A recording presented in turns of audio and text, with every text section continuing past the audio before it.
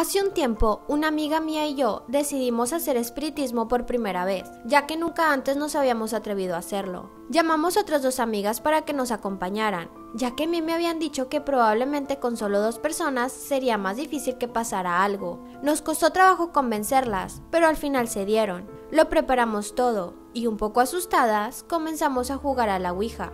Durante la sesión, una de las compañeras a las que habíamos llamado dijo, yo me voy de aquí, es una tontería esto de la Ouija. Nosotras nos asustamos un poco y decidimos dejarlo para otro momento.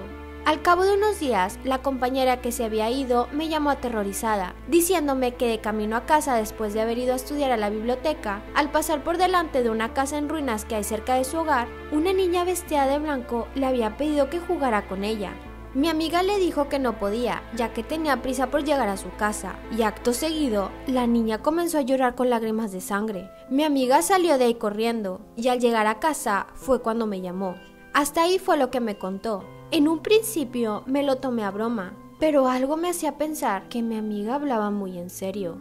En mi habitación comencé a darle vueltas al asunto y me acordé del día en que habíamos hecho espiritismo y de la mala manera con la que mi amiga se había retirado. Pensé que no tendría nada que ver y me dormí. Al día siguiente, esa misma amiga me llamó porque se iba a quedar sola en casa estudiando y tenía miedo. Así que decidí acompañarla ya que yo también tenía que estudiar. Cogí un autobús y ya en su casa nos pusimos a estudiar. De repente, oímos a nuestra espalda un ruido como de arañazos. Las dos miramos y comprobamos horrorizadas que la niña que ella me había descrito estaba sentada sobre su cama, arañando la pared.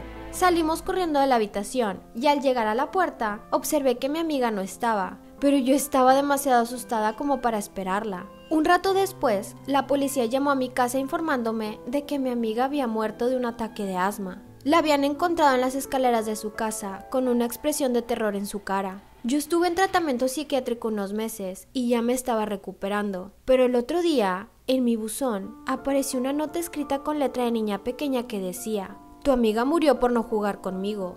Tengo una muñeca nueva.